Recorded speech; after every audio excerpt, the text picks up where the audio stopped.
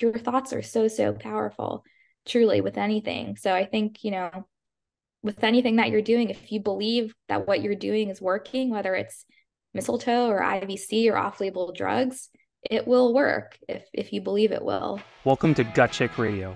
I'm Nick Belden, a chiropractic physician and functional medicine practitioner. The information provided in this podcast is for educational entertainment purposes only and is not intended to diagnose, cure, or treat any disease, and do not apply any of the information here without first speaking with your physician.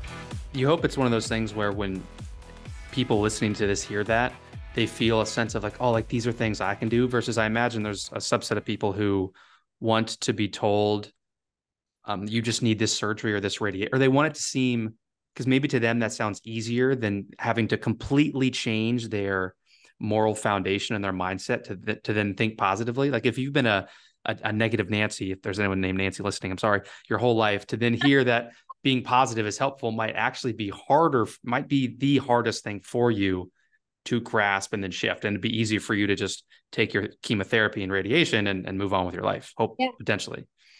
Yeah, there's even tunic. I mean, are you familiar with Bruce Lipton by any chance? Yeah, Biology Belief, fantastic. Book. He had yeah. highly, highly recommend that book for anyone listening. And yeah, I mean, his whole he he's like the pioneer of this whole area. I mean, he's been preaching this for years and years. I, I don't agree with everything he says, but there is a lot of power in terms of like again how your biology reacts to your thoughts.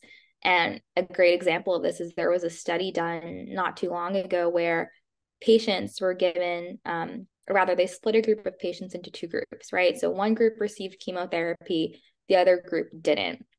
And in the group that did not receive chemo but thought they were it was just a saline solution i think it was like 70% of them lost their hair just because mm. they believed that they were receiving chemotherapy, which mm. is just mind blowing. Right. And I think, again, the more I read, the more I'm like, it's not necessarily the treatment itself, although that plays a big role. It's more of what you think of the treatment. Right. Mm. So even if a patient does, you know, decide to pursue chemotherapy, they need to think of that chemo as like liquid gold, right? That's going into their bodies, like killing the cancer, not harming their healthy cells.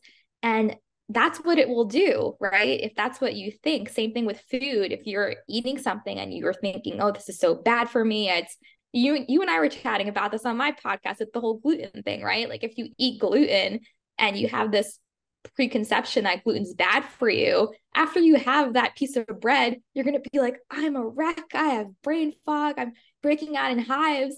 And it's like, well, is that really the gluten or is that your perception and your thoughts of what the gluten is doing to your body?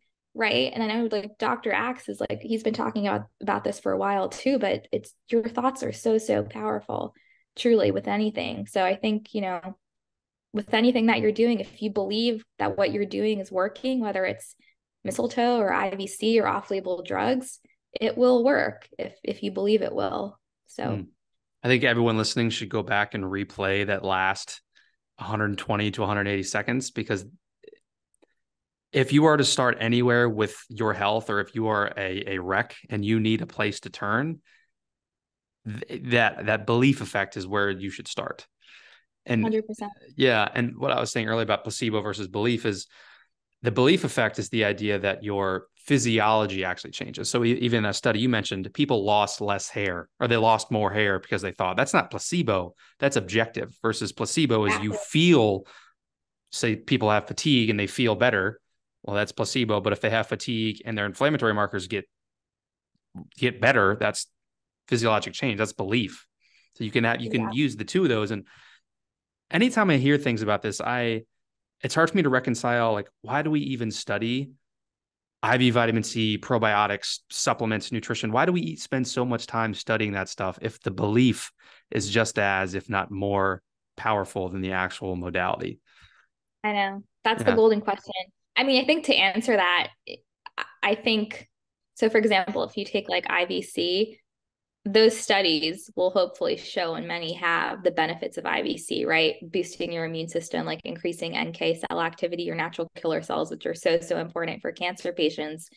And I think once a patient sees those studies, right, it's kind of like it feeds into that belief system, right? So if you read a study that's done on IVC and you see all these positive effects, then when you yourself are doing it, your body's going to react to those effects, right? By what you're reading. So I feel like there needs to be some type of tangible evidence or sense that something works in order for someone to believe it.